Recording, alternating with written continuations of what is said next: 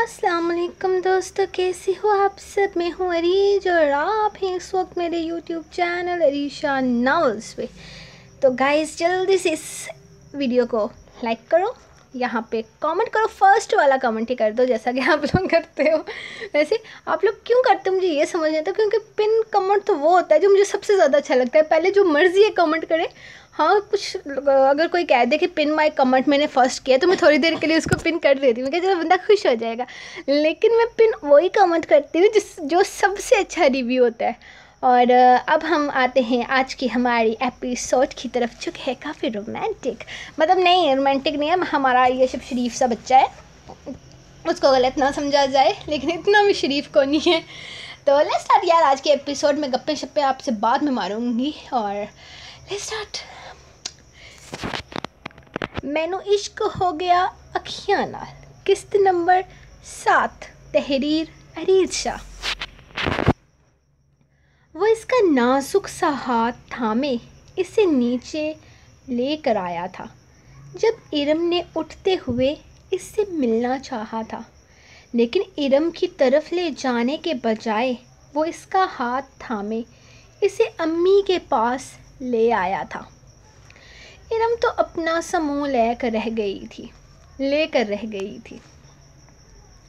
यशब की ये हर, हरकत इरशम ने भी शिद्दत से महसूस की थी, जबकि इरम के दिमाग में ये बात भी चल रही थी कि वो कब से दरवाज़ा खटखटा रही है, अगर वो लोग अंदर जाग रहे थे तो उन्होंने इसे जवाब क्यों नहीं दिया था? कब से जागे हो तुम? लोग, इधर इरम तीन दफ़ा तुम लोगों को जगाने गई है।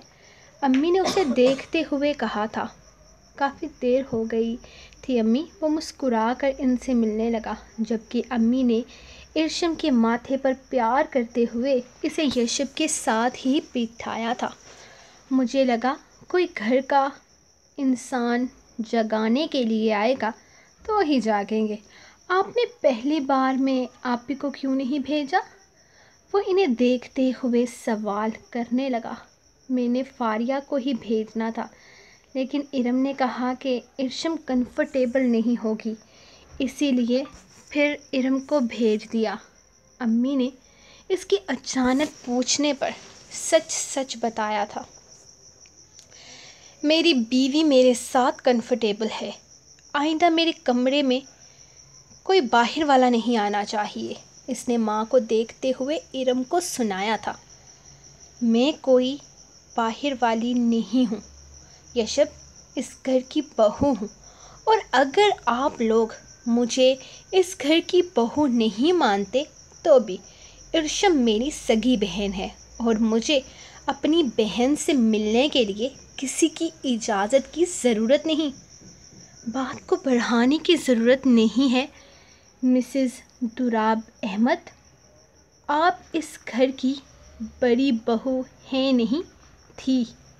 जब आपके शोहर ने जायदाद में बंटवारा नहीं करवाया था तब। और जहाँ तक मेरी बीवी का सवाल है तो आ, अब आपको इजाज़त की ज़रूरत है। वो इसकी तरफ़ देखे बगैर बोला था। तुम कहना क्या चाहते हो? ये सब जायदाद का बंटवारा हो गया है। इसका ये मतलब नहीं है कि हमारा इस घर पर कोई हक नहीं रहा। दुराब कमरे से निकलते हुए काफ़ी सख्ती से बोला था। घर में मेहमान थे, जिनका लिहाज करना भी काफ़ी ज़रूरी था। नहीं दराब भाई, आपका इस घर पर कोई हक नहीं है। अब्बा की सारी जायदाद को तीन हिस्सों में तकसीम करते हुए ये घर आप लोगों ने मेरे हवाले किया था। इस घर में आप लोगों का कुछ नहीं है। अगर किसी का है तो मेरी माँ और मेरी बहनों का। और इस घर की एक और हकदार अब मेरी बीवी है। आपकी बीवी या आपके बच्चे इस घर पर किसी तरह का कोई हक दावा नहीं रखते। तो बात को तो ये बात तो आप भूल ही जाएँ कि मैं यहाँ पर आपको कोई हक जताने दूँगा।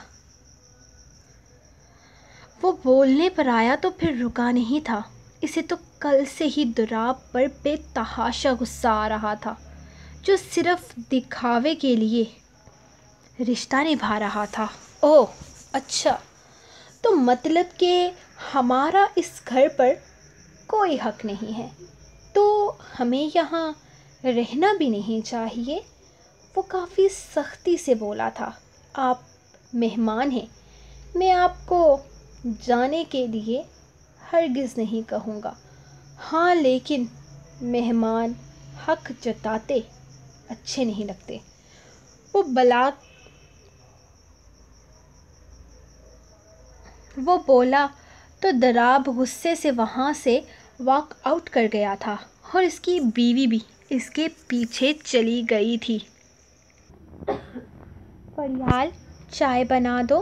वो फरियाल की तरफ़ मुतवजा हो गया था, जो अपने हाथ को लिए फूंके मार रही थी।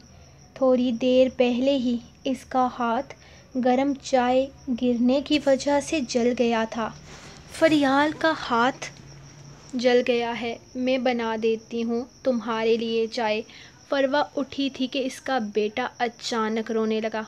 ओए शहजादे, क्या हो गया? क्यों रो रहा है? आप यार, तुम मत जाओ, यहीं बैठो। तुम्हारा बेटा रो रो कर पूरा घर सर पर उठा लेगा। वैसे भी तुम्हारे हाथ का शरबत मुझे पसंद भी नहीं है, शिकंजी घोल कर ले आओगी। इसने फरवा को वापस बुलाया था। वाह वाह, दुल्हे साहब के तो नखरे बढ़ गए हैं। अभी दुल्हन आकर पहलू में बैठी नहीं कि हमारी चाय शिकंजी लगने लगी है। फारिया इसको देखते हुए कहने लगी हाँ तो मैं ले आया हूँ अपनी बीवी को। कम से कम चाय तो अच्छी मिला करेगी ना? वो पुरसकून अंदाज में अपना मूड फ्रेश करने लगा। मैं बना देती हूँ तुझे चाय। अम्मी ने उठते हुए कहा, अरे अम्मी, रहने दीजिए। आप रात की थकी हुई हैं। मैं बना देती हूँ। फारिया ने ऑफ़र की थी। ये चल क्या रहा है? एक कप चाय बनाने के लिए मुझे इतनी औरतों की मिन्नतें करनी पड़ रही हैं। रहने दो। कोई मत बनाओ। मेरी बीवी बना देगी मुझे चाय। इसने अचानक कहा तो सबके चेहरों की शोही कहीं मंद पड़ गई थी। हाँ एक दिन की दुल्हन से तुम्हारे लिए हम चाय बनवाएँगे। अम्मी को इसकी बात पसंद नहीं आई थी। अम्मी, मैं चाय बनाने के लिए कह रहा हूँ। कौन सा इसे जंग पर भेज रहा हूँ? जाओ, इर्शम, मेरे लिए चाय बना दो। ये औरतें अब मुझ पर एहसान जताने लगी हैं। इसने इन चारों पर निगाहें डालते हुए अपने पहलू में बैठी इर्शम से कहा था, दिमाग ख़राब हो गया है। एक दिन की दुल्हन है। अभी मेहंदी का रंग भी फीका नहीं पड़ा और तुम इसे किचन में भेज रहे हो। मैं बना के लाती हूँ चाय। फारिया ने, फारिया बोली थी, नहीं चाहिए मुझे। अब तो मुझे मेरी बीवी के हाथ की ही चाय पीनी है। वो इसे रोकते हुए बोला, तेरा दिमाग तो ख़राब नहीं हो गया? तेरा दिमाग काम कर रहा है या नहीं? घर में मेहमान हैं और तू इस तरह की उल्टी सीधी बातें कर रहा है? अम्मी ने इसे डांटना चाहा था। किचन वहाँ है। वो इनकी बातों का असर लिए बगैर इर्शम को देखते हुए किचन की तरफ़ इशारा करने लगा था। इर्शम बेटा, कोई ज़रूरत नहीं है, फारिया बना लेगी। अम्मी ने उसे उठते देख परेशानी से कहा था, नहीं मामी, मैं बना लूँगी, कोई परेशानी नहीं है। वैसे भी तो आगे जाकर ये छोटे मोटे काम मैंने ही करने हैं। वो हल्की सी आवाज़ में मुनमुनाई थी छोटे मोटे क्या? बड़े काम भी तुमने ही करने हैं। ये घर तुम्हारा, इस घर की ज़िम्मेदारी तुम्हारी। सब कुछ तुमने ही करना है और एक आध साल में फरियाल भी चली जाएगी। तुम्हारी जिम्मेदारियाँ, बड़ी जिम्मेदारियाँ पड़ने वाली हैं तुम पर। वो रिलैक्स अंदाज में चारपाई पर लेटते हुए कहने लगा, जबकि वो किचन की तरफ़ जाने लगी थी। अम्मी तो अब तक इसे गुस्से से घूर रही थी। इन्हें इसकी ये हरकत बहुत नागवार गुजरी थी। वो जानता था, घर में इरम मौजूद है। कोई भी हंगामा लगा सकती है, कोई भी तमाशा कर सकती है। सब कुछ हैर हैरियत से हो गया था। लेकिन मजाल थी कि वो किसी तरह का पंगा लिए बगैर सकून से बैठ जाए। अभी इरम और दराब अगर कमरे से निकल आते तो बात कहाँ से कहाँ पहुँच सकती थी। लेकिन इसे तो परवाह ही नहीं थी। सुबह से इसे अपनी बीवी के हाथ की चाय पीनी थी और बस। अरे फरियाल, देखो बच्ची को अंदर से चीज़ें भी मिल रही हैं या नहीं? अम्मी ने परेशानी से कहा था, ढूंढ लेगी अम्मी।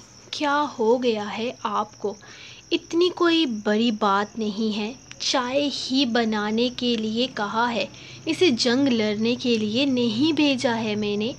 जो आप इतनी ज़्यादा परेशान हो रही हैं। इसने अम्मी की तरफ़ देखते हुए कहा था। छोटी सी बात को वो बहुत बड़ा बना रही थी। ये सही तरीका नहीं है। तुम्हारा यशब एक दिन की दुल्हन से काम करवा रहे हो तुम। वो अभी बोल ही रही थी कि इरम, पता नहीं क्यों कमरे से बाहर निकल आई। इर्शम किधर है? वो इनके पास आते हुए पूछने लगी थी, जबकि फरियाल तो उठकर किचन की तरफ़ चली गई थी। वो किचन में है। चाय बना रही है यशब के लिए। फारिया ने जवाब दिया, क्या? आप लोग एक दिन की दुल्हन से किचन में काम करवा रहे हैं? ये क्या तरीका है? शादी करके लाए हैं या मुलाजिमा बना कर लाए हैं इसे?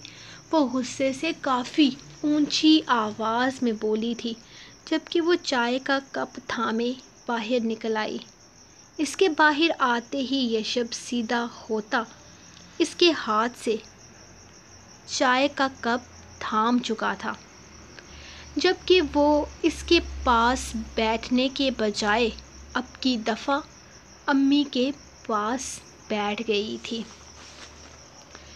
दिमाग ख़राब है तुम्हारा, एक दिन की दुल्हन हो तुम, और इस तरह किचन में काम कर रही हो। किसने कहा है तुम्हें ये सब कुछ करने के लिए? वो गुस्से से इससे पूछ रही थी।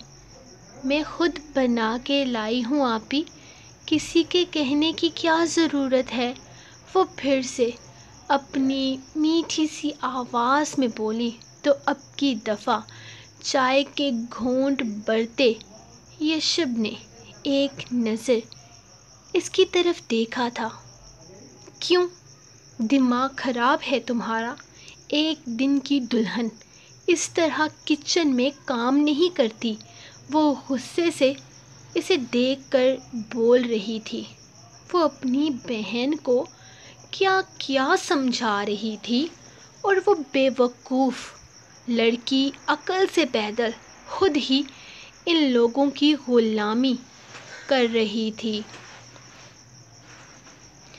अभी फरियाल आपी का हाथ जल गया है। मामी, अब इस उम्र में काम करती अच्छी नहीं लगती। और फरवा आपी और फरियाल आपी अपने बच्चों में मसरूफ़ हैं तो तुम नौकरानी बन गई। वो गुस्से से इसकी बात काटते हुए बोली, अपने शोहर के काम करने से कोई नौकर नहीं बनता। आप बेवजह ही ज़रा सी बात को बड़ा बना रही हैं। वो इसे देखते हुए बोली तो इरम को अपनी सारी पढ़ाई हुई पटियाँ बेकार जाती नज़र आई। मैं जानती हूँ इर्शम शोहर के काम करने में कोई बुराई नहीं है, लेकिन अभी तुम्हारे हाथों की मेहंदी भी नहीं उतरी। अभी कल ही रुखसत होकर तुम इस घर में आई हो और और क्या? ये मेरी बीवी है, इरम भाभी। और मैं अपनी बीवी से जब चाहूँ, जो चाहूँ वो करवा सकता हूँ। यकीन करें, अपनी शादीशुदा बहनों से अपना कोई भी काम करवाते मुझे अच्छा नहीं लगता और फरियाल का हाथ जल गया है। अगर इसने मेरे लिए चाय बना दी है तो इसमें कोई क़यामत नहीं आ गई। वो अभी बोला ही था जब इसके ससुर और सास खाना लेकर आ गए। इरम पैर पटखती उनकी तरफ़ मुत भरती इनसे मिलने लगी थी, जबकि फुप्पो, फुप्पा जान खुद आगे बढ़ते हुए इससे मिले थे। अपनी सगी फुप्पो से तो उसे जैसे कोई वास्ता ही नहीं था। लेकिन फुप्पा जान का वो बहुत एहतराम करता था, इसलिए इनके एहतराम में खड़े होते हुए इसने इन्हें सीने से लगाया था। इरम, इनके हाथ से नाश्ता लेकर फारिया की तरफ़ बढ़ा चुकी थी। अब वो इतनी अच्छी भी नहीं थी कि खुद सारा नाश्ता खोलकर इनके सामने रखती। क्या बात है दामाद जी सुबह सुबह चाय से लुत्फ़ अंदोज़ हो रहे हैं। किसी दिन मेरी बेटी के हाथ की चाय पीना तुम्हें मज़ा आ जाएगा। क्यों? ठीक कह रहा हूँ ना मैं, इर्शम। अपने शोहर को अपने हाथ की चाय बनाकर पिलाना।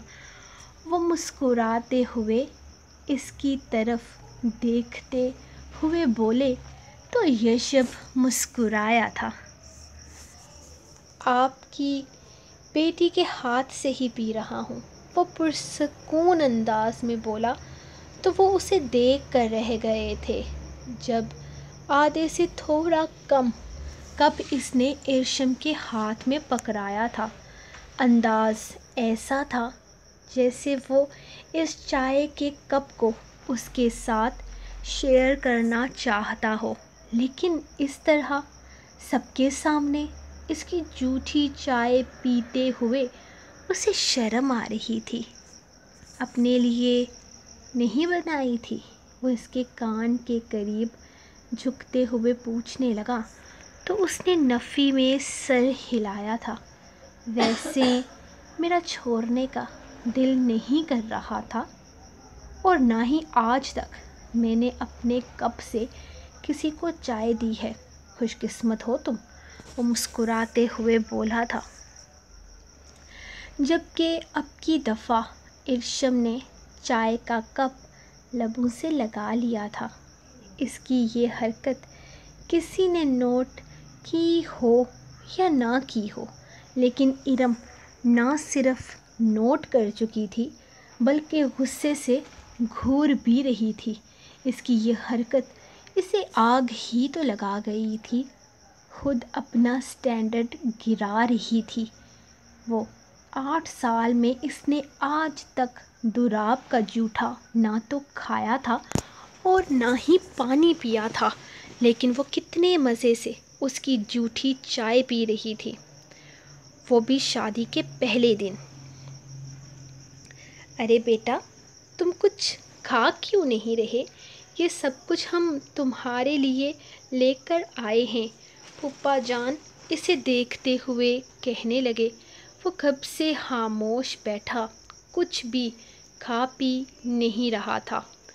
पुप्पा जान फ़िलहाल सुबह के टाइम में सिर्फ़ चाय पीता हूँ और वैसे भी वलीमा होगा तो कुछ खा नहीं पाऊँगा। अगर इतना हैवी नाश्ता कर लिया तो।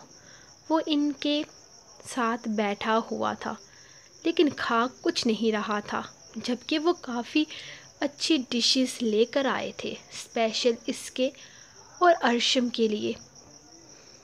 उन्होंने कल भी नोट किया था कि खाने के वक्त वो सिर्फ़ बैठा रहा था, सिर्फ़ एक पानी का गिलास लेकर वो वक्फे वक्फे से पीता रहा था, लेकिन इसने खाया कुछ भी नहीं था। इससे पहले भी वो आया था तो बगैर कुछ खाए पिए चला गया था। इर्शम बच्चे, तुम तो ठीक से खाओ ना, मेरी बच्ची ने रात रो रो कर अपनी हालत बिगाड़ ली थी। अम्मी प्यार से इसे अपने साथ लगाते हुए कह रही थी। हालाँकि इसकी ज़रूरत नहीं थी, लेकिन अम्मी कह रही हैं कि रुखसती पर लड़कियाँ इमोशनल हो जाती हैं। इर्शम किसी तरह का जवाब इर्शम ने किसी तरह का जवाब नहीं दिया था, बस अपनी माँ का प्यार ले रही थी, जब यशब ने कहा हाँ लड़कियाँ बहुत मासूम होती हैं। वो, और मेरी बच्ची तो है ही छोटी सी। इतनी जल्दी मैं तो इसकी शादी के हक में भी नहीं थी। बस ये तुम्हारे फुप्पा जी। इन्हें बहुत जल्दी थी बेटी बेहाने की। वो अफसोस से बोल रही थी अच्छा है ना, बेटियाँ जितनी जल्दी अपने घर की हो जाएँ, मैं तो अपनी ज़िम्मेदारी निभा कर खुश हूँ। पप्पा जान पुरसकून अंदाज में बोले थे तो फिर मुझे भी खुश कर दीजिए, मेरी भी ज़िम्मेदारी पूरी हो जाएगी। वो पुप्पा जी को देखते हुए फरियाल की तरफ़ इशारा कर रहा था। वो इसकी बात को बहुत अच्छे तरीके से समझ गए थे। मैं जल्द ही तुम्हें खुशखबरी सुनाऊँगा। वो मुस्कुरा कर बोले तो यशब ने सिर्फ़ हाँ में सर हिलाया था। मज़ीद थोड़ी देर ही वो रुके थे। फिर उन्होंने वलीमे पर जाने की तैयारी करनी थी। इसीलिए जल्दी ही वो वापसी के लिए निकल चुके थे। थोड़ी देर में पार्लर वाली ने आ जाना था। इसीलिए इरम इसे लेकर ऊपर यशब के कमरे में आ गई थी। ये क्या बेवकूफ़ी है? तुमने शादी के पहले ही दिन किचन में कदम रख दिया। इनकार कर देती ना। साफ़ साफ़ कहना चाहिए था कि मैं यहाँ काम करने के लिए नहीं आई हूँ। लेकिन तुमने सीखा ही दबना है। शादी की पहली सुबह उठकर किचन में उसके लिए चाय बनाने चली गई, और इतना ही नहीं, तुमने उसकी जूठी चाय पी। बेवकूफ़ लड़की, दिमाग तो ख़राब नहीं है तुम्हारा। तुम किसी की जूठी चाय कैसे पी सकती हो? किसी की नहीं, वो मेरे शोहर हैं आप ही। और ऐसी भी कौन सी कयामत आ गई? उन्होंने इतनी मोहब्बत से मुझे अपनी चाय दी थी तो मुझे अच्छा लगा। वो कहते कहते शर्मा गई थी। मोहब्बत, बेवकूफ़ लड़की, तुम्हें गुलाम बनाना चाहता है वो। तुम, तुम्हें अपने पैर की जूती से ज़्यादा कुछ नहीं समझेगा। अगर इसी तरह इसकी सारी बातें बातें मानती रही तो। पता नहीं दिमाग कहाँ है तुम्हारा। शादी के अवलीन दिनों में तुम्हें यहाँ अकेले नहीं छोड़ सकती मैं। अगर मैं छोड़ कर चली गई तो ये लोग तो बड़ी आसानी से तुम्हें बेवकूफ़ बना लेंगे। ऐसी बात नहीं है, आपी। फरियाल आपी का हाथ जल गया था और फिर आज से पहले फरियाल का हाथ कभी नहीं जला। लेकिन घर में बहू आई तो इसका हाथ भी जल गया। मानना पड़ेगा इन ड्रामे बाज औरतों को। वो इसे बेड पर बिठाते हुए समझाने लगी थी। वो कोई ड्रामा नहीं कर रही थी आप। ही इनका हाथ सच में जल गया था। आपने देखा नहीं? छाले बन गए थे। और फिर घर में इतना काम है। वो सुबह से लगी हुई थी तो तुम्हारी ज़िम्मेदारी नहीं है इस काम को बांटो। एक बात कान खोल कर सुन लो, इन माँ बहनों की ग़ुलामी करने मत लग जाना। तुम्हारी ज़िंदगी तबाह हो जाएगी। तुम अभी कुछ नहीं समझ रही हो, लेकिन मुझे सब कुछ समझ में आ रहा है। वो पता नहीं क्या क्या बोल रही थी जब यशब को कमरे की तरफ़ आते देखा, आप यहाँ? वो इरम की तरफ़ देखते हुए बोला था, यकीनन इसका यहाँ इस वक्त होना इसे अच्छा नहीं लगा था। हाँ मैं अपनी बहन से बातें कर रही हूँ, वो पुरसकून अंदाज में बोली अच्छा ठीक है बाद में बातें कर लीजिएगा। फ़िलहाल जाइए। क्या मतलब है? जाइए। क्या मैं यहाँ रुक कर अपनी बहन के पास बातें नहीं कर सकती? वो इसके लहजे पर शेर हुई थी। कर सकती हैं। बेशक कर सकती हैं, लेकिन मुझे चेंज करना है और अपनी बीवी से कुछ पर्सनल बात करनी है। सो आप जाइए। मैं आपके सामने कोई पर्सनल बात नहीं कर पाऊँगा। वो फिर से बोला था। इसने एक नज़र इर्शम को देखा और फिर बिना कुछ बोले कमरे से निकल गई। इसे लगा था, इर्शम कुछ कहेगी, अपनी बहन के हक में कुछ बोलेगी, लेकिन वो तो कुछ भी नहीं बोली, क्योंकि इस दब्बू ने दब्बू ही रहना था। इसके जाते ही वो कमरे का दरवाज़ा बंद करते हुए इसके पास आया था। अपनी बहन से कहना कि आज के बाद जो भी कहना या करना हो, वो नीचे तक करे। मेरे कमरे में आने की ज़रूरत नहीं है। मैं अपने कमरे में इन्हें तब नहीं आने देता था जब ये इस घर की बहू थी। वो मेरी आप ही। हैं आप इस तरह कैसे उन्हें बेइज्जत कर सकते हैं? आपके साथ इनका कोई ताल्लुक़ ना सही, लेकिन मेरे साथ इनका ताल्लुक़ है। आपके कमरे में ना सही, लेकिन मेरे कमरे में तो वो आ सकती है ना? आपके निकाह में होते हुए यकीनन इस कमरे पर मेरा भी इतना ही हक है जितना कि आपका। वो मज़बूत लहजे में इससे पूछ रही थी, लेकिन आवाज़ की मासूमियत उसे घायल कर गई थी। यह शब मुस्कुरा कर इसकी तरफ़ आते हुए आहिस्ता से इसकी कमर में हाथ डालता इसे अपने करीब खींच गया था। हाँ बिल्कुल, ये कमरा तुम्हारा है, बल्कि कमरा ही नहीं, ये पूरा घर तुम्हारा है, और तुम्हारा कोई भी रिश्तेदार आ सकता है, लेकिन ये कमरा हमारी पर्सनल जगह है, और मियाँ बीवी के पर्सनल्स में किसी तीसरे को नहीं आना चाहिए तो आइंदा एहतियात करना। चाय बहुत अच्छी बनाई थी तुमने, अभी तक जायका है मुँह में? अम्मी से डांट खा के आ रहा हूँ। इन्हें दुख है कि शादी के पहले दिन मैंने तुमसे काम करवाया। शायद तुम्हें भी बुरा लगा है। वो इसे देखते हुए बोला तो उसने फ़ौर नफ़ी में सर हिलाया था।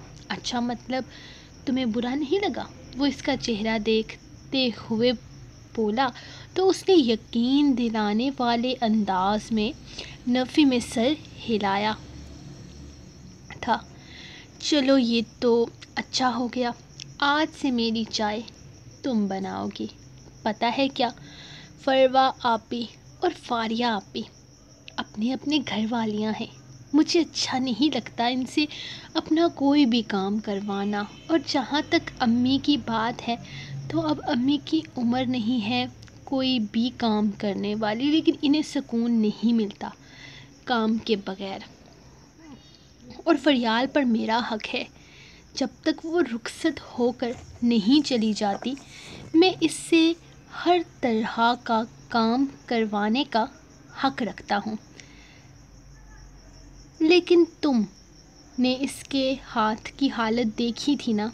इस वक्त चाय की तलब बहुत शदीद थी, बल्कि ये कहना बेहतर रहेगा कि चाय पिए बगैर मैं फ़्रेश नहीं हो सकता। और मेरी जूठी चाय पीने से वो इसका चेहरा देखते हुए बोला तो एक लम्हे में उसके गाल लाल हो गए थे। तुम्हारी बहन को क्यों आग लग गई? मेरी जूठी चाय पीने से वो पता नहीं क्या कहने वाला था कि अचानक बात बदल गया। आप भी को तो कुछ नहीं हुआ, वो हैरत से इसे देखते हुए कहने लगी, शायद इसकी बात को वो समझ ही नहीं पाई। छोड़ो, दफ़ा करो। थोड़ी देर में पार्लर वाली ऊपर आती होगी। फजूल बातों में वक्त बर्बाद नहीं करना चाहिए।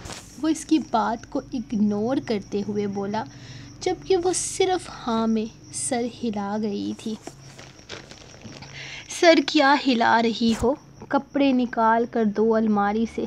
वो इसके चेहरे को देखते हुए बोला तो इसने फ़ौरन हाँ में सर हिलाया था, जब वो अचानक ही इसे पकड़कर अपने करीब करता, उसके चेहरे पर झुकता, उसके लबों की मिठास छीनने लगा था।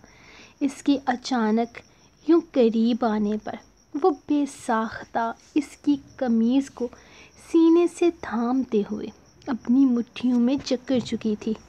इतनी फरमबदार बनकर रहोगी तो पछताओगी। बहुत नशा है तुम्हारे लबों में। तुमने अच्छे हासे बंदे को मदहोश करके रख दिया है। वो इसके लबों को आज़ाद करते हुए इसके चेहरे के एक एक नक्श को चूमता पीछे हटा था। साथ ही साथ वो इसकी फरम बददारी से भी मुतासर था। खैर, जल्दी से मेरे कपड़े निकाल दो, वरना मैं तुम्हें खा जाऊँगा। वो इसके लबों पर अंगूठा फेरते हुए बेबाकी से बोला था, लेकिन वो इसे छोड़ नहीं रहा था। लड़की, मैं बोल रहा हूँ, तुम पर बहुत जुल्म हुआ है। अगर मेरी जगह कोई और तुम्हारा शोहर होता तो यकीन करो मैं अपने ख़ानदान की लड़की को इससे दस साल बड़े आदमी से बयाने पर एतराज़ ज़रूर उठाता। यकीन करो मैं तुम्हारा वकील बन जाता कि लड़की पर जुल्म हो रहा है। लेकिन अब नहीं कर सकता, क्योंकि इस केस में मज़लूम तो जालिम तो मैं खुद हूँ। और तुम पर जुल्म भी मैंने ही ढाया है और आगे भी डाना है। तुम पर तरस भी बहुत आ रहा है, लेकिन मैं तुम्हारे लिए कुछ कर भी नहीं सकता। इसके एक एक नक्श को फिर से चूमते हुए वो अजीब अजीब बातें कर रहा था। वो बुरी तरह से कंफ्यूज हो रही थी इसकी बातों पर। अब भी अगर तुम अपना आप मुझसे छुड़वा कर नहीं गई तो मैं तुम्हारी साँसें छीन लूँगा। इसकी गर्दन पर झुकते हुए वो अपनी गिरफ्त बढ़ा रहा था। लेकिन इस दफ़ा इसकी बात ठीक से उसके पल्ले पड़ चुकी थी। वो एक झटके में इसकी बेतहाशा नरम गिरफ्त को तोड़ते हुए अलमारी की तरफ़ भागी थी। तुमने मेरी गिरफ्त तोड़ी। इसकी सज़ा मैं तुम्हें रात को दूँगा। वो धमकी देते हुए बेड पर लेट गया था। चेहरे पर दिल फरेब, मुस्कुराहट थी, जबकि इसकी धमकी पर धमकी ने उसको सर सरता पैर लड़जा कर रख दिया था। इसने अलमारी में लटके सफ़ेद कलर के कपड़े निकाले थे। साथ में एक लॉन्ग बास्केट थी। ये ड्रेस इसके लहंगे के साथ काफ़ी मैच कर रहा था। बल्कि वास्केट की डिज़ाइनिंग भी तकरीबन सेम ही थी। वो कपड़े निकाल कर बेड पर रख चुकी थी। आप यहीं पर पहनेंगे कपड़े? वो इसे देखते हुए पूछने लगी। इसकी मुनमुनाहट सुनाई दी थी, लेकिन इस लेकिन इसे समझ नहीं आया था कि उसने क्या बोला है। फ़िलहाल तो इसे ये समझ नहीं आ रहा था कि वो इतनी कम आवाज़ में क्यों बोलती है। ये वॉल्यूम का बटन किधर है तुम्हारा? वो इसकी तरफ़ देखते हुए सवाल करने लगा। जी, वो हैरत से इससे पूछने लगी। ओ मैडम, आवाज़ थोड़ी सी ऊँची कर दो। इतने कच्चे कान नहीं हैं मेरे कि तुम्हारी मनमनाहट को सुन सकूँ। वो इसे देखते हुए बोला, मैं ये पूछ रही हूँ कि कपड़े कहाँ पहनेंगे आप? अब की दफ़ा इसने आवाज़, ऊँची आवाज़ में पूछा था, यहीं पर पहनूँगा और कहाँ पहनने हैं? इसने पुरसकून अंदाज में जवाब दिया, वॉशरूम में रख दूँ कपड़े? वो उठकर बैठने लगा तो उसने पूछा था जबकि वो यूँ ही बैठे बैठे अपनी शर्ट उतार कर साइड पर फेंकता हैंगर से कमीज़ निकालने लगा। जबकि इसके बेसाख्ता यूँ इसके सामने कपड़े चेंज करने पर वो चेहरा फेर गई थी। छी, कितने बेशरम हैं आप। वॉशरूम में जाकर चेंज करें। इस तरह से क्यों चेंज कर रहे हैं मेरे सामने? वो दोनों आँखों पे हाथ रखे, चेहरा दूसरी तरफ़ फेरे। अब की दफ़ा इतनी ऊँची आवाज़ में बोली थी कि इसके साथ साथ अगर कोई कमरे के दरवाजे के बाहर खड़ा होता तो इसे भी काफ़ी साफ़ सुनाई देता। क्यों? वॉशरूम में जाकर चेंज क्यों करूँगा? और तुम्हारे सामने चेंज करने में क्या बुराई है? तुम इस तरफ़ चेहरा फेर कर क्यों खड़ी हो? वो शौक लहजे में, इससे इस तस्वार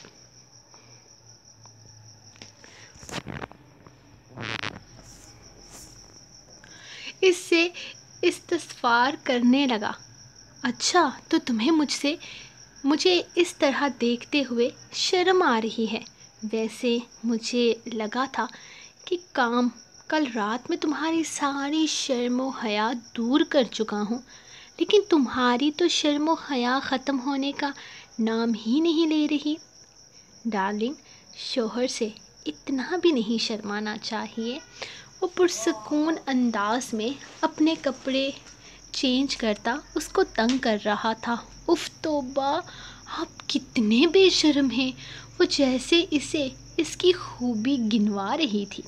जबकि वो आहिस्ता आहिस्ता चलता, इसके पास आता, इसके गिर्द अपनी बाहों का हसार बनाता, एक झटके में इसे खींचकर सीधा कर चुका था।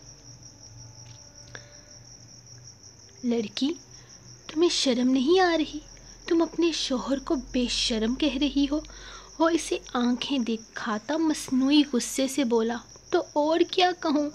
आप इस तरह किसी के भी सामने कपड़े बदल लेते हैं, वो हैरत बेयकीनी से पूछ रही थी, जबकि इसके अंदाज पर वो अपनी हँसी दबाता हाँ में सर हिलाने लगा। किसी के सामने नहीं, अपनी बीवी के सामने। और यकीन करो, तुम्हारे सामने कपड़े बदलते हुए मुझे कोई शर्म नहीं आ रही। बल्कि तुम्हें भी शर्म नहीं आनी चाहिए। नीचे पार्लर वाली आ चुकी है। अम्मा इसे नाश्ता करवा रही हैं। वो कभी भी ऊपर आती होगी। तुम भी चेंज कर लो अपनी ड्रेस। वो पुरसकून अंदाज में इसे मशवरा दे रहा था। मैं कर लूँगी। आप जाएँगे यहाँ से तो। और वैसे भी मैं यहाँ नहीं वॉशरूम में जाकर चेंज करूँगी। वो फ़ौर बोली थी, जबकि वो इसकी बातों पर मुस्कुराते हुए हाँ मैं सर हिलाता इसका दुपट्टा उतार कर बेड पर फेंक चुका था। तुम्हारी शर्मो हया का कोई इंतज़ाम करना पड़ेगा। मैं तुम्हें अपने हाथों से चेंज करवाऊँगा। वो फैसला करते हुए बोला तो इसके एक लम्हे के लिए इसका वजूद बर्फ़ बन गया था। वो फ़ौर नफ़ी में सर हिलाने लगी। जबकि सोफ़े पर पड़े इसके लहंगे को वो देख रहा था जो बेतहाशा, खूबसूरत था। और खूबसूरत होता भी कैसे नहीं? आखिर वो अपनी पसंद का लेकर आया था। नहीं प्लीज़ प्लीज़ नहीं, मैं कर लूँगी खुद। नहीं, प्लीज़ नहीं। वो मिन्नतें कर रही थी, जबकि वो इसे सोफ़े के पास लाता एक झटके से। अपने करीब करता। इसकी ज़िप को एक झटके में खोल चुका था, जबकि इर्शम की तो हालत ख़राब होने लगी थी। जिस पूरे जिस्म का खून सिमट कर उसके चेहरे पर आ गया था। इसकी हालत देखते हुए वो मुस्कुरा कर इसके लबों को अपनी सख्त गिरफ्त में लेता। इसकी साँसें छीनने के दर पर था। इसके लबों को बख्शते हुए वो इसके चेहरे के एक एक नक्श को अपने लबों से महसूस करता पीछे को हटा था। जल्दी चेंज करो। पार्लर वाली आती होगी इसके लबों पर शिद्दत से भरपूर बोसा देते हुए वो कमरे से निकल गया था, जबकि वो कितनी ही देर अपनी साँसें नॉर्मल करने की कोशिश में वहीं सीने पे हाथ बांधे खड़ी रही। उफ, ये इंसान तो ज़रूरत से ज़्यादा बेशरम था। ऐसे इंसान के साथ गुजारा तो बेहद मुश्किल था। ये कहाँ फंस गई थी वो? अपने माथे से पसीना साफ़ करते हुए इसने दरवाज़े को देखा था, जिसे वो बाहर से बंद कर गया था।